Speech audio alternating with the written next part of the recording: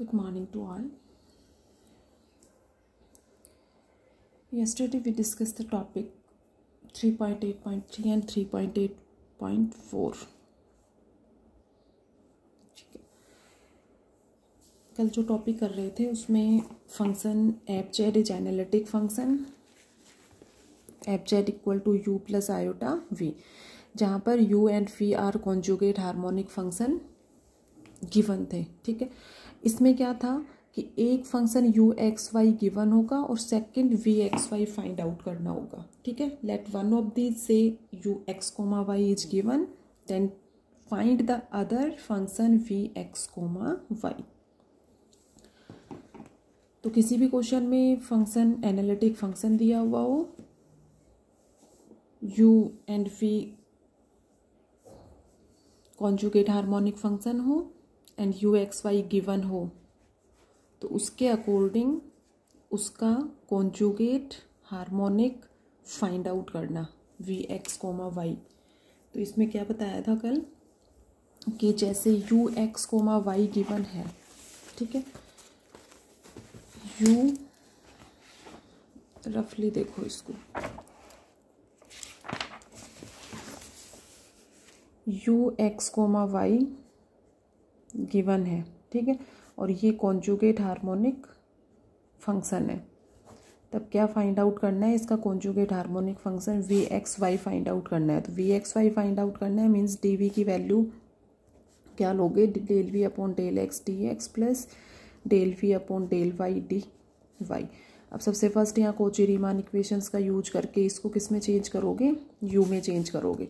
फिर एक वैल्यू को एम लोगे एन लोगे, ठीक है?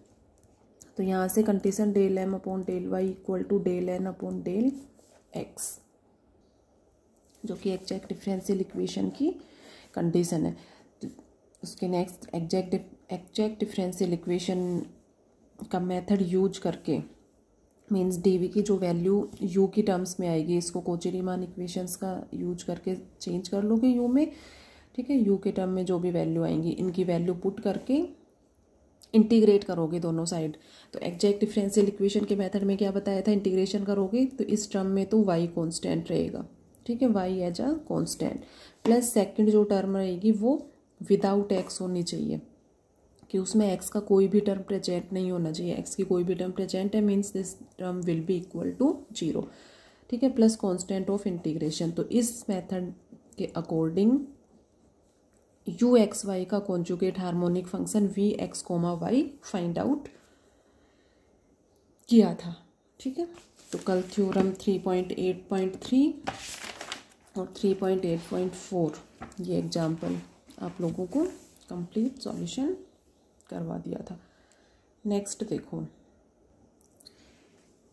Next next example three point eight point five prove that the function u x comma y is harmonic and obtain its conjugate two parts prove करना है कि तो प्रूव करना है कि u x comma y harmonic function है। Harmonic function की definition के अकॉर्डिंग दोनों कंडीशन सेटिस्फाई करवाओगे यहाँ पे कि इसके two order partial derivatives continuous होने चाहिए और function u x comma y Laplace equation को सेटिस्फाई करना चाहिए। ठीक है?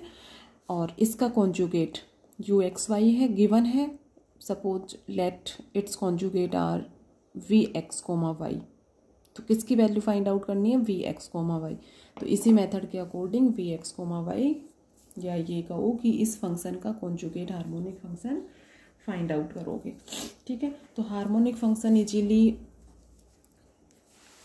प्रूव कर सकते हो।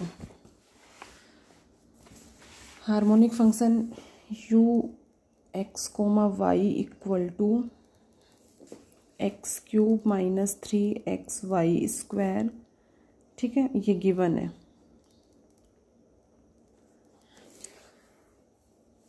इससे सबसे फ़र्स्ट फाइंड आउट कर लो del u upon del x del u upon del y del v upon del v नहीं sorry del two u upon del x square and del two u upon del y square u x comma y given है, ठीक है? तो इसके लिए Laplace equation क्या होगी?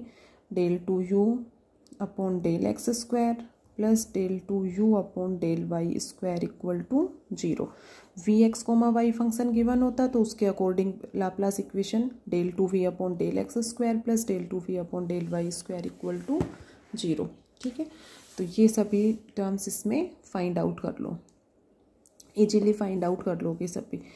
Del u upon del x three x square minus three y square y के respect में करोगे इसका तो ये हो जाएगा minus six x y del two u upon del x square six x y के रिस्पेक्ट में करोगे तो minus six y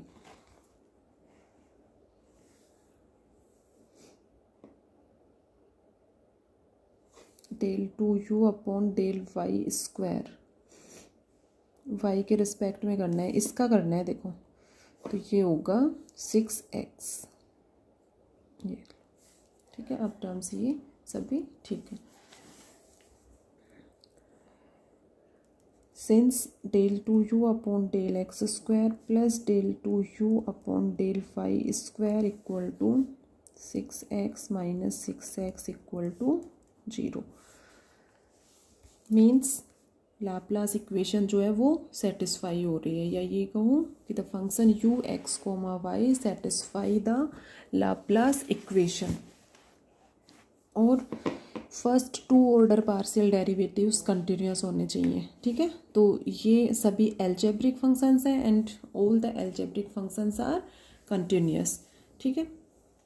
तो यहाँ पर दोनों कंडीशन सेटिस्फाई हो रही है means u x comma y is harmonic function तो so partial derivative of first and second order are continuous and u x comma y satisfy the Laplace equation so u x comma y is harmonic function तो first part जो है वो अपना यहाँ पर clear हो जाता है।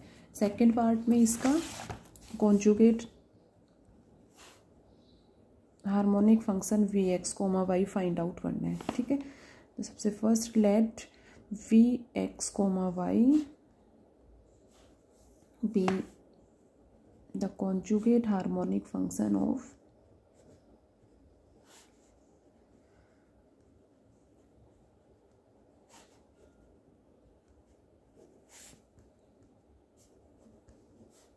u x comma y.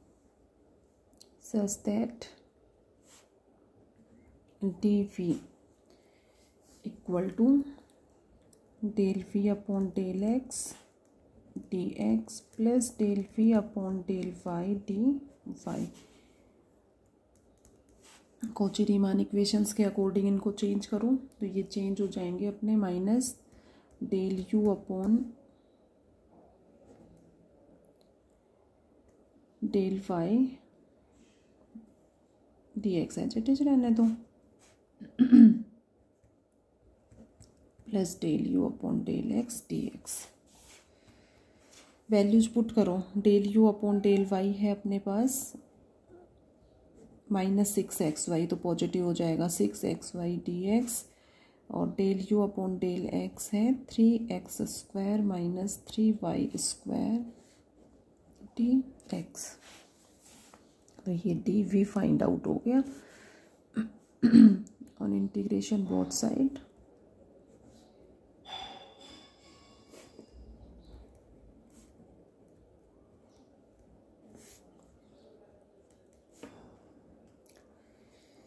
six x y d x y as a constant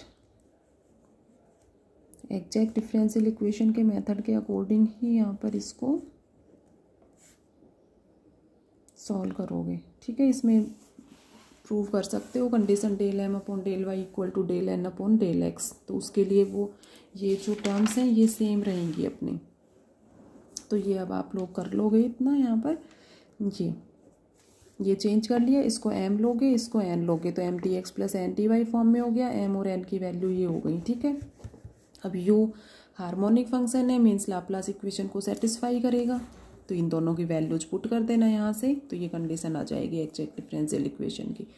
ठीक है?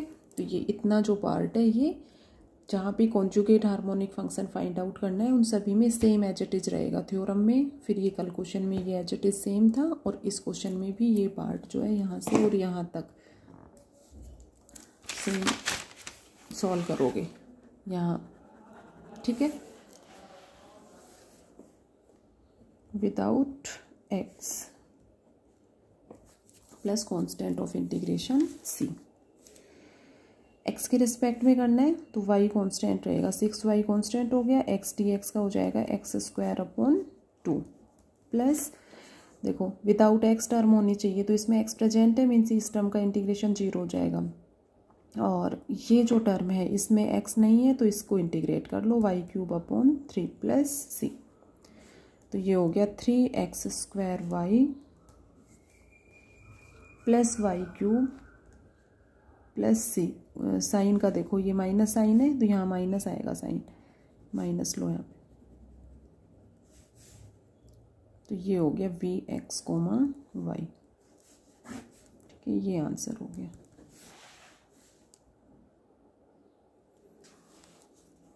Example three point eight point five अपना। कंप्लीट हो गया। ठीक है?